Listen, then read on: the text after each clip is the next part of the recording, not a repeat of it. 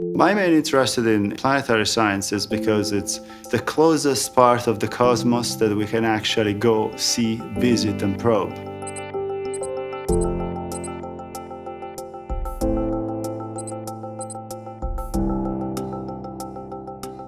Psyche is a larger asteroid in the main belt that is in between Mars and Jupiter.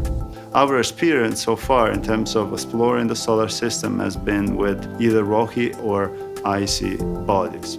What's particularly interesting about Psyche is we think it's a metallic object. We have a common understanding perhaps of you know, how regular common rocks behave, but metal behave in a very different way.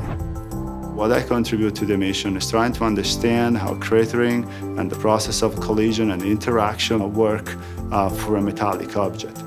And we will use this information then to understand what we see at the surface once we get there.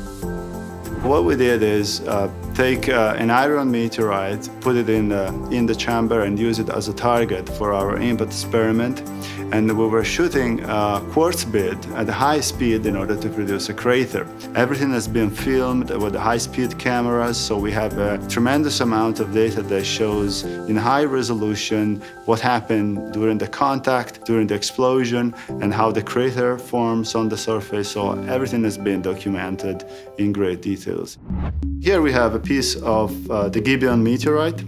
And uh, what we see here is a crater that was produced in, uh, as a result of one of our experiments. And traditionally with rocks, the rim would be blasted away and would be a sort of um, flattish feature. But here we see these flaps that basically are frozen into place.